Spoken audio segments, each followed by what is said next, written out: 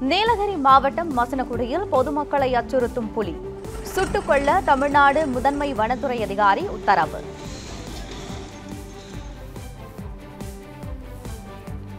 அனுமதியின்றி போராட்டம் நடத்தியதாக வைகோ திருமாவளவன் மீது தொடரப்பட்ட வழக்கு.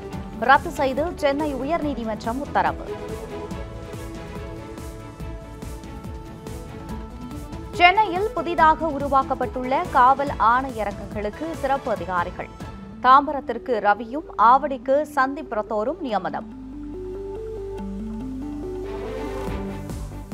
நீதிபதியை பணி செய்ய விடாமல் தடுத்து வைத்ததாக கருத்து. காவல்துறைக்கு உயர்நீதிமன்றம் கடும் கண்டனம்.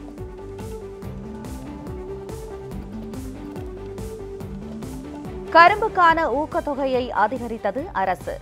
டன் ஒன்றுக்கு நாற்பத்தி இரண்டு ரூபாய் ஐம்பது காசுகள் உயர்வு.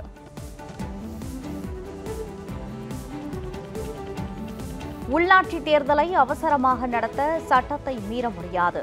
புதுச்சேரி வார்டுகள் ஒதுக்கீடு குறித்த வழக்கில் உயர்நீதிமன்றம் கருத்து. நகரங்களில் மலை என குவிந்த குப்பைகள் முழுமையாக அகற்றப்படும். தூய்மை இந்தியா டூ பாயிண்ட் ஓ திட்டத்தை தொடங்கி வைத்து பிரதமர் மோடி உரை.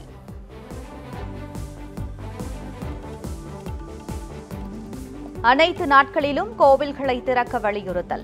வரும் ஏழாம் தேதி ஆர்ப்பாட்டம் நடத்தப்போவதாக மாநில பாஜக அறிவிப்பு. நியூஸ் செவன் தமிழ் பிரைம் யூடியூபை சப்ஸ்கிரைப் பண்ணுங்க. சப்ஸ்கிரைப் பண்ணாதவங்க கண்டிப்பா சப்ஸ்கிரைப் பண்ணுங்க. பெல் ஐக்கானையும் கிளிக் பண்ணுங்க.